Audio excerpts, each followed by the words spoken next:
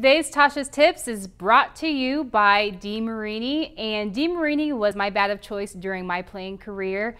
I loved how edgy, innovative, they always gave their athletes the best of the best equipment.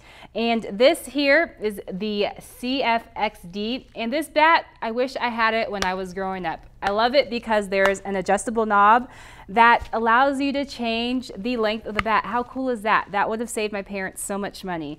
This bat is super powerful. It's going to last you a long time. And I just love DeMarini because they're so innovative and they care about their athletes so much.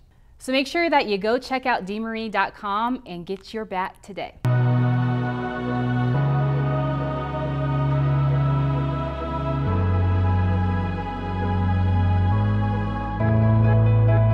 Hi, I'm Natasha Watley, two-time Olympian, and welcome to today's Tasha's Tips. Today we're going to talk about when umpires have a bad strike zone. Now, I know it's like the most annoying thing when an umpire's zone is all over the place, you can't figure it out, and you just like can't get settled in.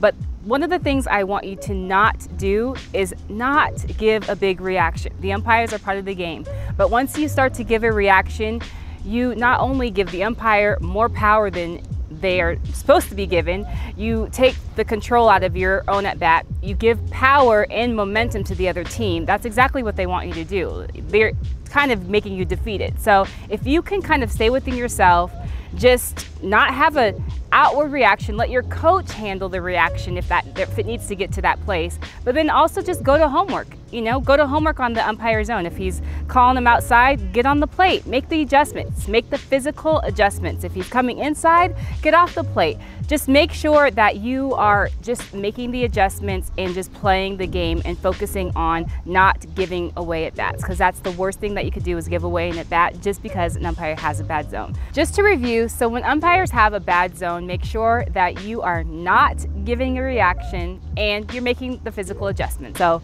best of luck out there. Make sure you like, comment, or share this video.